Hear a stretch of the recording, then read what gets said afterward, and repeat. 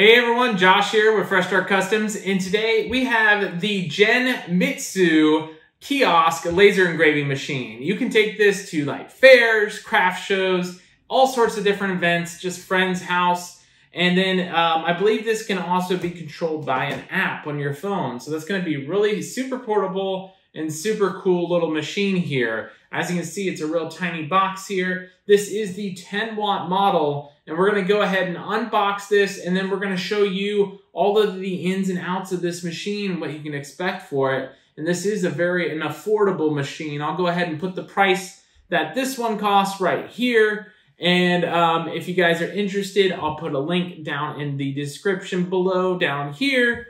And if you have any questions at the end of the video, let me know in the comments below as well. With all that out of the way, let's go ahead and unbox this thing and let's get started.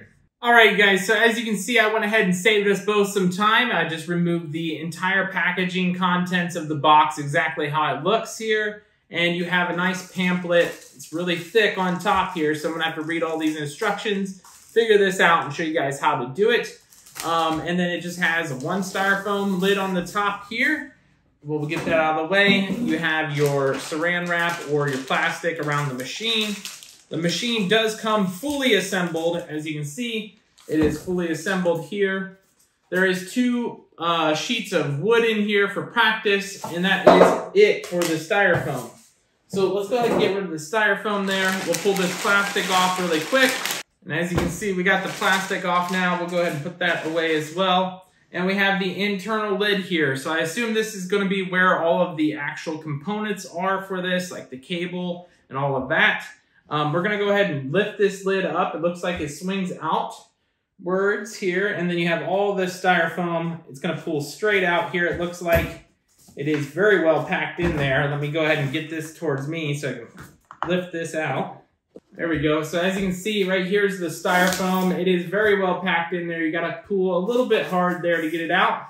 But if you flip it over, right here, it looks like we have the laser head itself. And then we also have the uh, safety glasses and the tool accessory kit here. Uh, we'll pull those out and show you that as well here. Let me go ahead and get that pulled out as well. All right, now that we got those two out, we'll get to that here in just a second. There is one other box inside here that I noticed.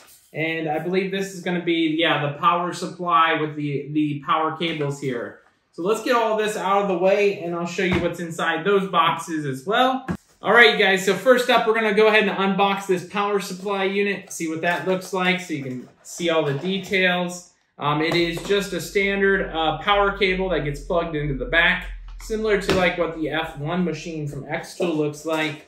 We also have this uh, safety glasses here. Um, it's going to probably be your standard safety glasses. Yeah, it looks like your standard green safety glasses for a blue diode laser. And then we have the tool accessory kit here. We're going to see what's involved with this and what is all included here. As you can see, this is the USB connection cable that you can connect your, your uh, computer with. And then it looks like there is um, small brushes in here. I'll need to figure out what that's for. It looks like there's paper and possibly a spacer in here as well for the focusing height here. I'll need to figure out what that's for after I read the instructions. We're gonna get, get into all the details here next, and then we're gonna start engraving towards the end of the video here. But overall, those are all the accessories and the unboxing of the unit. Um, so let's go ahead and jump into all the details of this unit next. All right, you guys, so really quick, here is a screenshot of all of the specifications of this machine so you know what you're getting into when you get this machine. Uh, just to point out a few real important ones, the engraving accuracy is 0.01 millimeters. The max speed is 12,000 millimeters per minute when you're doing a bitmap. Um, you also have the max working of area just shy of 4 by 4 inches. As you can see, all of the engraving materials that you can do is paper, wood, bamboo, cloth, acrylic, plastic, leather, bread, fruit, glass, ceramic, uh, rock, coated metal, and so on. Um, the uh, cu cutting materials is going to vary too based on what model you have. Like I said, I've got the 10 watt model here. So that's something to keep in mind. The software works with um, Windows, Mac, Android, or iOS, depending on if you're getting the mobile version or the other version. Those are the main things that I wanted to highlight there. You can read over all of these. I just wanted to save you some time. We're going to be referencing the owner's manual that I showed you earlier with some cool images of different features here so you can see all of the different features as well. First up, here is a quick look at the back of the unit, all of the different ports that are included. Um, and as you can see, there is a smoke purifier inlet here. Now, I did not get the smoke purifier, and there is not a plastic unit that you can just attach your own easily. So you may have to 3D print one or find a way to get your um, exhaust out the window if you're going to be doing that. So that's something that I think is going to be a required accessory, in my opinion, if you're going to be doing this, or if you can get a 3D printed part and then um, use your own hose for that. On the front of the unit, as you can see, here's the power switch. You have an offline engraving option that'll show you like previews, almost like a framing option here. And then you have a light status on the front as well. And then as you can see here, the bottom panel actually comes out. So you can actually engrave on the, the top side of like, like a desk or those kinds of things. Uh, so that's a super cool little touch and feature as well. And then one really cool feature that uh, wasn't really mentioned before was the ability to raise the height of your um, laser here. So on the back of the laser, you can actually unscrew these screws here on the back and you can actually uh, lift the laser higher. And this is where those safety glasses will come into play that we showed you earlier because the lid won't be able to go down that far. But you're going to be able to engrave really, really thick items. Like you can see this cube here, that is an extremely thick item. You just have to re-raise your laser's focus height to the top of that engraving and you can engrave on top of those blocks. So that's a really cool feature that was kind of unexpected from this machine, um, especially with it being a kiosk machine that you can kind of take anywhere.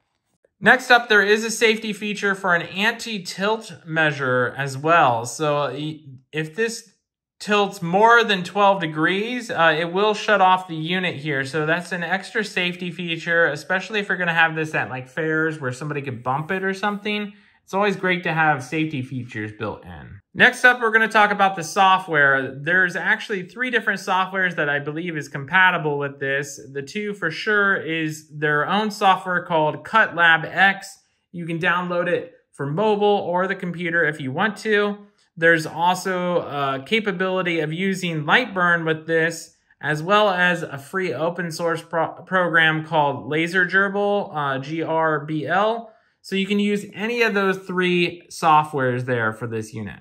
Now we're going to talk about the optional accessories. As you can see here, there is an optional camera accessory, like a camera module that you can install in this unit and it does work with Lightburn, but you will need to use Lightburn to use this accessory for the camera module unit. Another optional accessory is the rotary engraving tool. You can go ahead and get the rotary engraving tool for this and engrave cups. Um, I do not have either of these accessories, um, so I won't be able to test that out. And if you want to go into more detail with that, we'll have to do that in the future if I can get my hands on that. But for now, I just wanted to show you guys the optional accessories here. The last optional accessory you have is the smoke purifier system that I was talking about earlier for the back of the unit that will connect.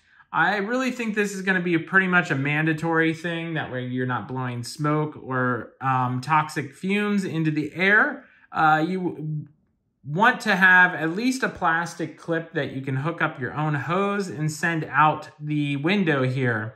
So that's one thing that I would improve about this machine here. And lastly, it looks like they have a cutting board module. So if you wanna do a high powered cutting, um, you can go ahead and get an additional accessory for a cutting board module here. It looks like the unit without this is gonna be engrave only. So just keep that in mind. Um, you can get like, it looks like a honeycomb tray from this image here. So you will have to get that as an additional accessory as well. All right, you guys, so as you can see, we got the laser unit all set up, ready to go. Um, we're gonna get to the engravings here right at the end, but I did wanna show you guys an overview instead of just those photos that I showed you from the pamphlet here of all the different features. So on the front, we have the power button. We have the a little offline button that'll frame and start your engravings offline. You also have the indicator light here, which when it's closed is a solid blue. It's ready to engrave. When you open the lid, as you can see, it's flashing blue. That means it's not ready to engrave. It will not engrave. You can then take your, your objects like this here, the little oxidized aluminum metal business cards. You can stick it in there. I had my last engraving right about here. Um, I did tape it down because this fan has got a little bit of power to it and kind of blows that real light card around. So I do got a piece of tape in there and then you can just tape it down like that. Um, there is a framing feature in this. I'll go ahead and throw up a video clip of that framing feature. So that's a great benefit for this low end cost of a laser here.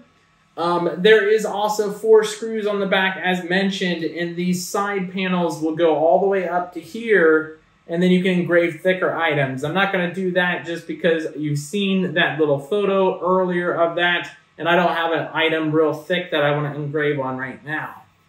With that said, um, I did engrave one of these little oxidized aluminum metal business cards already. I'll go ahead and throw up an image of what the end result looked like here now. And then we're going to do a, a, live engraving of that business card that I recorded for you guys. It's hard to get an image through this um, orange plexiglass, what it looks like during the engraving. Once the engraving is done, there is some laser dust on this you, have to wipe off with an actual paper towel, but that's not really a big deal. You just wipe it off, clean it off, or use a magic eraser and it looks real nice and shiny and silver, just like this. Um, I did all of this from the mobile application today instead of the typical computer because this is a mobile kiosk and I wanted this to be as portable as possible and test that out. It's a little hard to use the mobile app, but it's not really that hard uh, if you're doing images. So all this was was a PNG image. I clicked upload the image. It would let me shrink it by pinching the um, software bigger or smaller.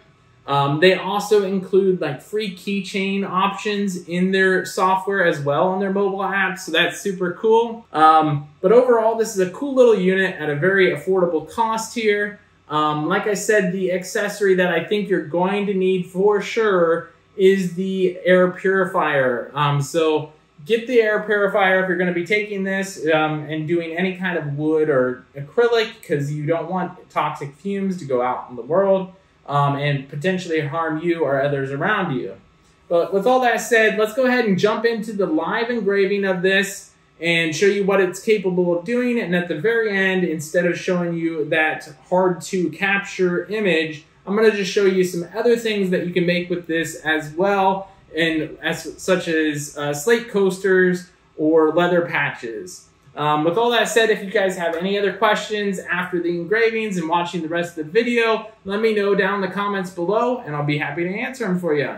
All right, you guys, so really quick before we get to engraving, I want to show you guys how to focus the laser height here to your material so you're in focus. You'll actually unscrew this screw right here, which will allow your laser to be loose, and this whole laser module will move up and down. You'll then flip this down and then place it on top of your material to the exact height that it touches at the very end. That will then put your laser from here to here is in focus and ready to engrave. You'll then flip this back up and you are now ready to engrave. So I'm going to show you guys some engravings now of this in action and then what I made with this at the very end here. Take me back to a place where I felt at home Take me back to a day when we weren't alone Take me back to an age when the world felt small Way back before we blew it all. Take me back to a place where I felt at home. Take me back to a day when we weren't alone. Take me back to an age when the world felt small. Way back before we blew it all. Too many things going on. I can't keep track of them all. From people dropping a bomb To people putting up walls. I feel like life is on hold. Perception stuck in a vault. I know that time can heal all But how much time till we fall? It's awfully chilly outside When there's no shelter to hide. When everything is